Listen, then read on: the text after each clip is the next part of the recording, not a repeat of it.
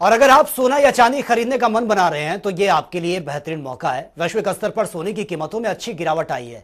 वहीं चांदी भी अब तक के निचले स्तर पर पहुँच गया है। नौ सौ निन्यानवे प्योरिटी वाले एक किलो चांदी छह सौ सस्ती हो गई है, जिसके बाद एक किलो चांदी की कीमत चौवन हज़ार सात सौ सैंतीस रुपए प्रति किलो पर यह पहुँच गई है। वहीं अब देश में एक ग्राम चांदी का रेट इकसठ रुपये पर पहुँच गया है।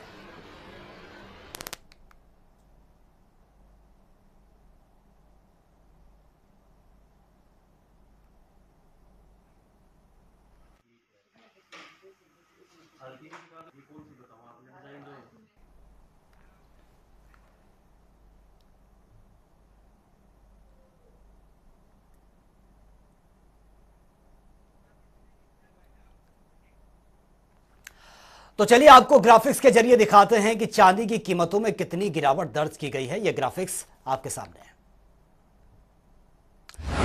देखिए, अब तक के निचले स्तर पर पहुँची है चांदी की कीमत और चांदी में भारी गिरावट देखने को मिली है।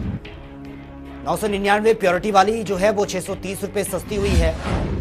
और देश के कुछ शहरों में चांदी की कीमत जो है चौवन हज़ार सात सौ सैंतीस रुपए प्रति किलो है। दक्षिण भारत के शहरों में चांदी की कीमत इकसठ हज़ार छह सौ रुपए प्रति किलो के आसपास है। इसी के साथ ही देश में ग्राम चांदी का रेट इकसठ रुपए पर पहुँचा है।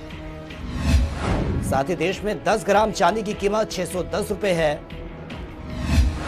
और एक जुलाई को पैंसठ हज़ार रुपए प्रति किलो थी चांदी की कीमत।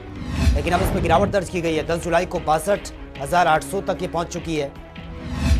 और इसी के साथ सात और आठ जुलाई को बासठ हज़ार चार सौ रुपए प्रति किलो ये पहुँच चुकी है। और जून 2022 में पैंसठ हज़ार दो सौ रुपए प्रति किलो थी चांदी की कीमत और धीरे धीरे इसमें गिरावट दर्ज हो रही है।